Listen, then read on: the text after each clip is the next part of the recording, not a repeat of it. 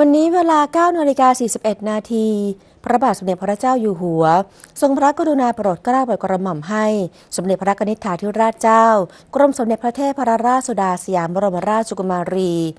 เสด็จพระราชดำเนินแทนพระองค์ไปยังหอประชุมมหาราช อาคารอุทยานองค์สมเด็จพระนเรศวรมหาราช มหาวิทยาลัยนเรศวรอำเภอเมืองพิษณุโลก จังหวัดพิษณุโลก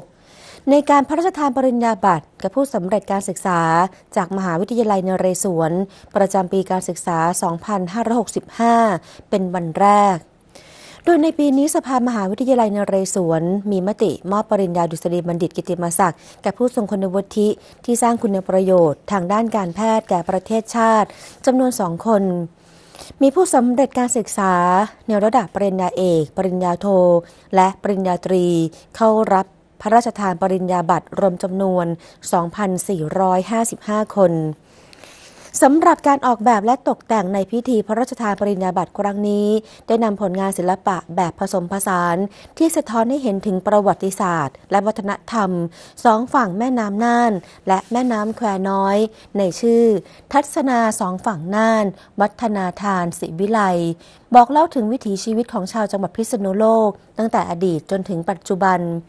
ซึ่งเกิดจากความร่วมมือระหว่างมหาวิทยาลัยนเรศวร และประชาชนในพื้นที่ เป็นการบูรณาการการเรียนรู้สู่ชุมชน โอกาสนี้พระราชทานพระราโชวาทเพื่อเป็นแนวทางในการปฏิบัติตน แก่ผู้สำเร็จการศึกษา ความสำคัญตอนหนึ่งว่า บัณฑิตเมื่อสำเร็จการศึกษาออกไปปฏิบัติงานในสังคม ย่อมปรารถนาที่จะประสบความสำเร็จในหน้าที่การงาน ปัจจัยสำคัญประการหนึ่ง ที่จะช่วยให้คนเราประสบความสำเร็จได้ดังหวังตั้งใจนั้น ก็คือการรู้จักจัดสรรเวลาให้ได้ประโยชน์ คนเราทุกคนมีเวลาในแต่ละวันเท่ากัน แต่จะใช้เวลาให้มีประโยชน์คุ้มค่ามากน้อยเพียงใด ขึ้นอยู่กับการจัดสรรเวลาของแต่ละคน ผู้ที่ไม่ตระหนักถึงคุณค่าของเวลา มักจะมีเร่งทำสิ่งสำคัญตามหน้าที่ของตนให้ลุล่วง แต่จะผัดวันประกันพุ่งจนเกิดความผิดพลาดเสียหาย ตรงข้าม ผู้ที่เห็นคุณค่าของเวลา ไม่ว่าจะมีเวลามากหรือน้อยเพียงใด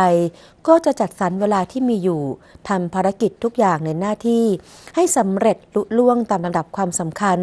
เพื่อให้งานที่ทำสำเร็จผลเป็นประโยชน์อันจะนำมาซึ่งความสำเร็จในหน้าที่การงานดังตั้งใจมุ่งหมาย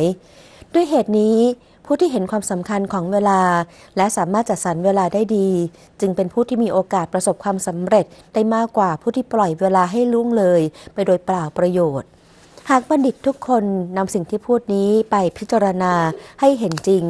ก็เชื่อว่าจะสามารถประกอบกิจการงาน ให้บรรลุถึงความสำเร็จและความเจริญได้อย่างแน่นอน